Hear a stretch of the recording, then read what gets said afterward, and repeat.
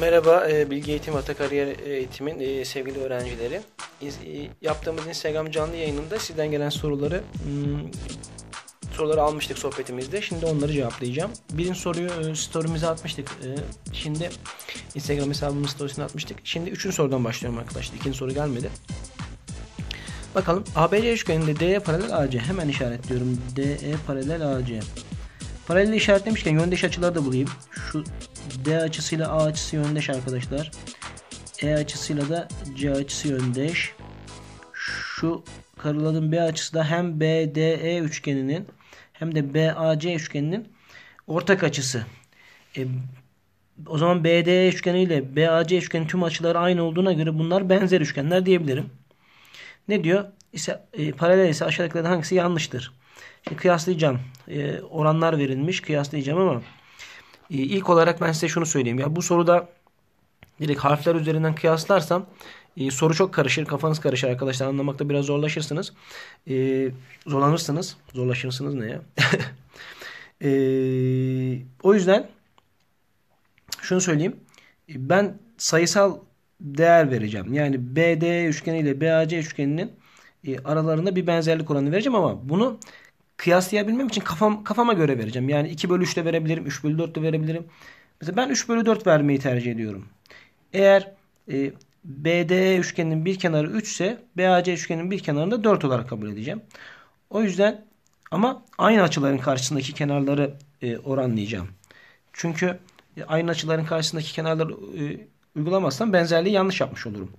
Bakıyorum BDE üçgeninde tek noktalı açı, açının karşısındaki kenara 3x dersem BAC üçgenindeki tek noktalı açının karşısına oran 3 bölü 4 yapacağım için bunun 4x olması lazım. E, 3x'i burada kaldı. Şunun karşısındaki kenardan bahsediyorum. Yani AB kenarından bahsediyorum. 3x'i burada kaldı. O zaman DA'ya ne düşer? X düşer.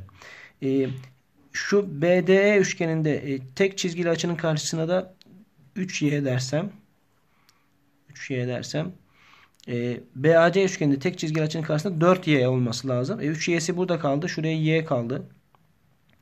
Geliyorum karalı açının karşısına. Karalı açının karşısındaki e, D kenarına 3A dersem karalı açının karşısındaki büyük üçgende BAC üçgenindeki e, karalı açının karşısına 4A demek zorundayım. Şimdi artık arkadaşlar oranları hesaplayabilirim. Aşağıdakiler doğru mu yanlış mı diye kıyaslayabilirim. Diğer türlü harf olarak yapsaydım çok fazla zorlanabilirdim. Bakalım BD. BD'ye biz ne verdik? 3x verdik. DA'yı ne verdik? DA'yı da x verdik. 3 bölü x. Bakalım eşit mi BE bölü EC'ye? B ne? 3y. EC ne? Y. E, x'ler sadeleşir, y'ler sadeleşir. 3 eşittir 3. A şıkkı doğru. B şıkkına bakalım. DE bölü AC. DE bölü AC. Yani 3A bölü 4A. B bölü BC. B bölü BC. O da B 3Y. BC 3y artı y'den 4y. A'lar sadeleşir. Y'ler sadeleşir. 3 bölü 4 3 bölü 4. B de doğru. C'ye bakalım. AD bölü AB. C, C, e, AD bölü AB. AD bölü AB. Yani x bölü 4x. C bölü CB. C, Y bölü CB 4y. Y bölü 4y. X'ler sadeleşir. Burada 1 kalır. Y'ler sadeleşir. Burada 1 kalır. 1 bölü 4 eşittir. 1 bölü 4. C de doğru. D'ye bakalım. BE bölü EC. BE 3y. EC y. D'ye bakalım. DE 3a. AC 4a. Y'ler sadeleşir. A'lar sadeleşir. Burası 3 kaldı. Burası 3 bölü 4 kaldı. Bunlar birbirine eşit değildir. O zaman bu yanlış. Arkadaşlar e, dediğim gibi ben burada hani size daha rahat ifade etmek için böyle harflerle çalışmayayım diye 3 bölü 4 yani küçük üçgen büyük üçgene benzerlik oranını 3 bölü 4 olarak kabul ettim. Size de şöyle bir şey hadi görev vereyim. E, siz de benzerlik oranını 2'ye 3 olarak kabul ederek bu soruyu çözün. Onu da aynı şekilde doğru çıktığını cevabını göreceksiniz. Yani diğer türlü harflerle anlatsaydım sizin için çok karışık olacaktı. Geldim arkadaşlar dördüncü soruya. ABC üçgeninde D paralel BC. Hemen işaretleyeyim. D paralel BC. Yöndeş açıları da işaretliyorum. Açıları hemen işaretledim. Şu açıyla da karalayayım bari şurayı. Şu karalanmış açı. eşit. Şuradaki A açısı da her iki e, üçgenin şu küçük üçgenle şu büyük üçgenin ortak açısı. Bize diyor ki DE 4 yazmış, BC 12 yazmış. Alan ADE 10 santimetre kare. Hmm. Bana şunu soruyor. A noktası ile BC arasındaki en kısa uzaklığı soruyor. En kısa uzaklık dik uzaklıktır arkadaşlar. Her zaman biliyorsunuz. Mesela şurada bir örnek göstereyim. Bu üçgende tabana şu, şu köşeden en kısa uzaklık şu dik uzaklıktır.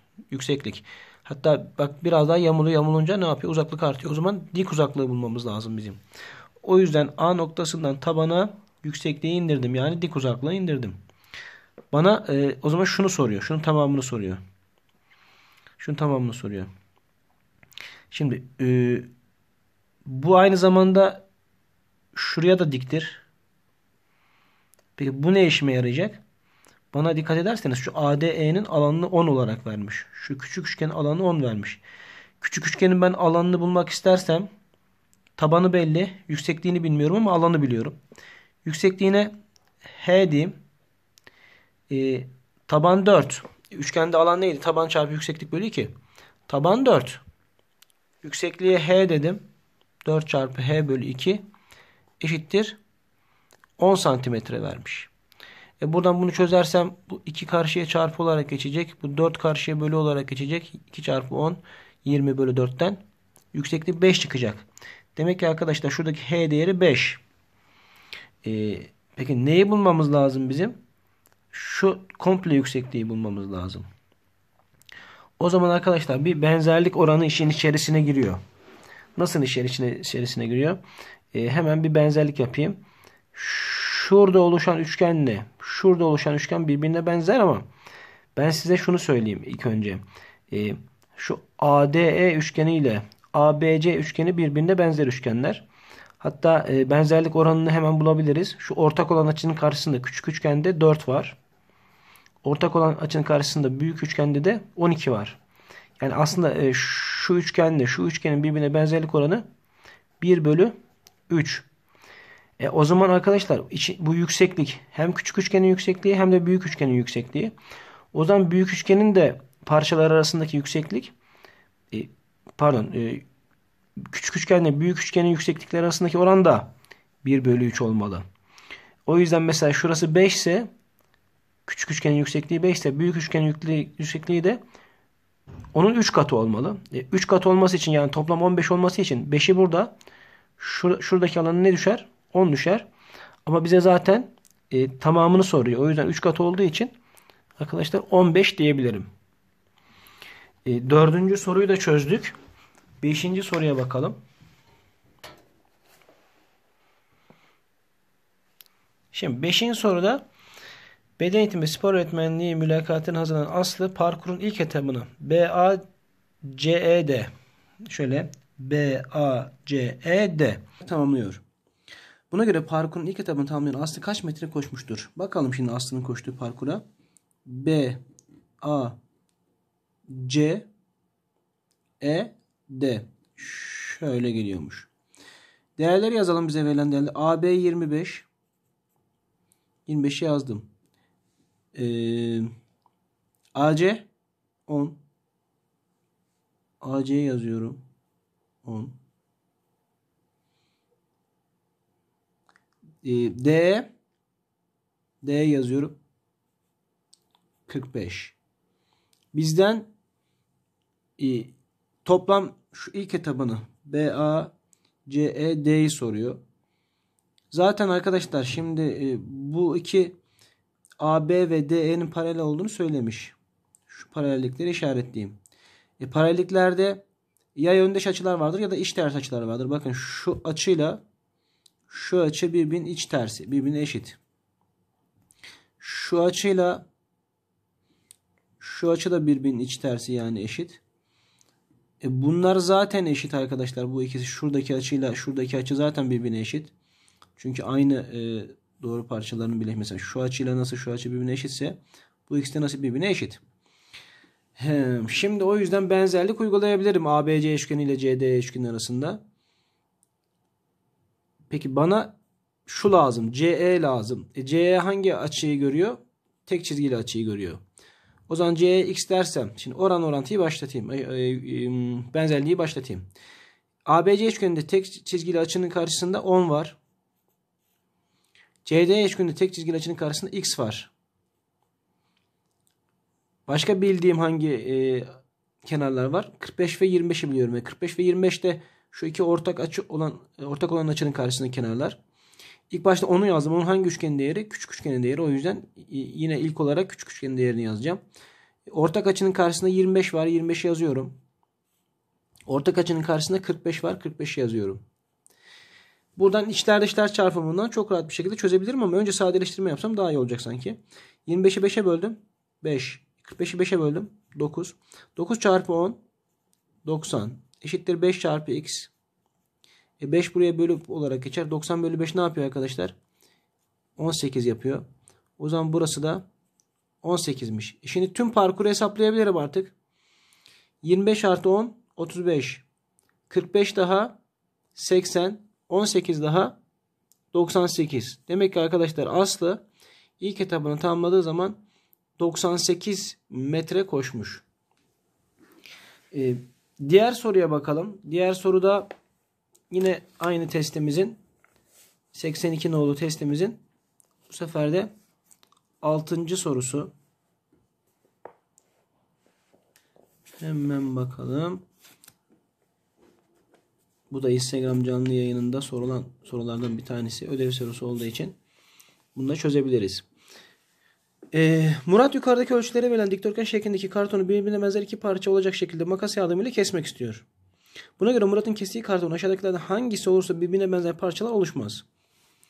Ee, dikdörtgenin uzun kenarı 85 santim, kısa kenarı 20 santim. A şıkkını inceleyelim.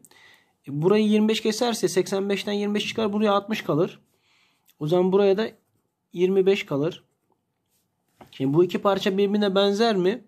Şuralar zaten 20. Şuralar zaten 20. Bakın şurada iki ayrı şekil oluştu. Birincisi bu. ikincisi bu. E, ikisinin de 20'lik bir kenarı var. Var. E, açılar zaten şuralar 90 derece. Şuralar 90 derece. Şu açıyla şu açı eşit. Şu açıyla o zaman 180'den mesela bunu A dersem bunu da A dersem şurası 180 eksi A olmaz mı? 180 eksi A şurası. E şurası da 180 eksi A olur. Demek ki e, 90'lar eşit. A'lar eşit. 180 eksi A'lar eşit. Tüm açılar eşit. 20'lik kenar var. 25'lik kenar var. İkisinde de şurada da. 60'lık kenar var. Demek ki arkadaşlar e, bu iki şuradan iki parçaya ayrıldığı zaman A şıkkında e, benzerlik oluyor. B şıkkını inceleyelim. B şıkkında da 5'er santimetrelik kesiyor. Yani şuradan da kesecek 5'e 5. Zaten burası 20 idi. Burayı 85 oluyor. E, 85'i 5'lik parçalara ayırırsam arkadaşlar 17 tane 5'lik parça çıkar. 17 tane ama hepsi birbirinin e, hatta e, benzeri ve aynı zamanda eşi. Çünkü neden? 5'e 20, 5'e 20, 5'e 20, 85 5'e bölündüğü için bu üst yan kenarda sıkıntı çıkmayacak.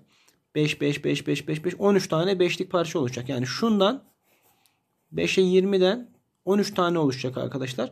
Hepsi de birbirine eş. Yani benzer zaten eşlik demek benzerliği kapsıyor. O yüzden B şıkkı da olur. Peki C şıkkına bakalım. C şıkkında tam böyle köşegenden ikiye ayırıyor. E zaten arkadaşlar bunlar zaten birbirinin aynısı yani. Dikdörtgeni köşegeninden ikiye ayırırsan iki tane birbirine eş parça çıkar. E C de oluyor. Bakalım demek ki cevap D şıkkıymış arkadaşlar. Ama her ihtimale karşı bir bakalım. Şimdi şurası 20 idi. Bunu onluk parçalara ayırıyor. 10, 10, 10. Ama 85 10'a tam bölünmediği için 8 kere 10 80. Şurada 5 kalıyor arkadaşlar. O yüzden yani gelecek 8. parça da şöyle 10'a 10'luk olacak ama öbür parça 5'lik olacak. Yani 5'e 20 olacak. Bunların hepsi 10'a 20 iken yani kısa kenarı 10, uzun kenarı 20 iken sonuncu parça 5 e, arttığı için 85'te 5'e 20 olacak. Yani birbirinin benzeri olmayacak. O yüzden cevabımız arkadaşlar Denizli olarak göze çarpıyor burada. 82. testi çözdük. Şimdi e, eşlik benzerlik konusunun daha da pekişmesi açısından e, yeni ödevinizi veriyorum. 83 ve 84. test. E, özellikle 84. testte e, çok fazla yeni nesil soru var. Şöyle bakayım evet çok fazla yeni nesil soru var. E, bunları da pazartesi günü yapacağımız canlı yayında konuşuruz Instagram'dan. E, çözmeye çalışın. Ödevinizi e, arkadaşlar yapmaya çalışın. E, ve ek kaynakları da takip etmeye çalışın eşlik benzerlik konusuyla ilgili. Sürekli eğitim hayatınızda karşınıza çıkacak ve bazı soru çözümlerini pratik yapabileceğiniz bir konu. Çok güzel öğrenmekte fayda var. 83-84 ödev son olarak ve pazartesi günü bunu konuşacağız arkadaşlar. Çözemediğiniz soruları da pazartesi günü yayına gelirken söyleyecek şekilde hazırlıklarınızı yapın. Kendinize iyi bakın. Görüşmek üzere.